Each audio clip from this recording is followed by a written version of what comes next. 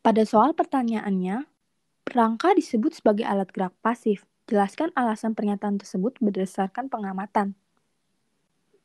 Penyelesaiannya, rangka merupakan tempat melekatnya otot sehingga rangka hanya bisa digerakkan oleh adanya otot tersebut. Kemampuan melakukan gerakan tubuh didukung oleh adanya sistem gerak.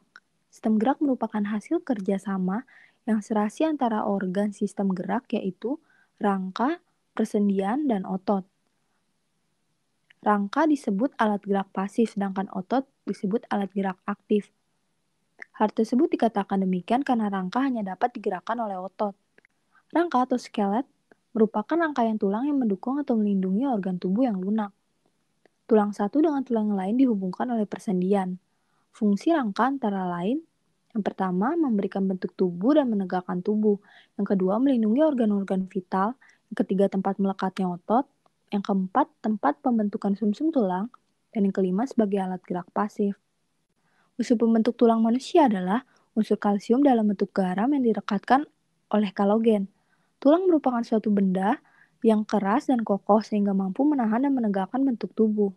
Berdasarkan penjelasan tersebut, mengapa rangka disebut sebagai alat gerak pasif?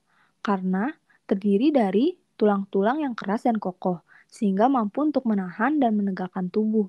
Tulang tidak dapat melakukan kontraksi dan relaksasi seperti otot, karena bentuk dan ukuran tulang akan selalu sama dan tidak bersifat fleksibel. Rangka merupakan tempat melekatnya otot sehingga rangka dapat digerakkan oleh adanya otot tersebut.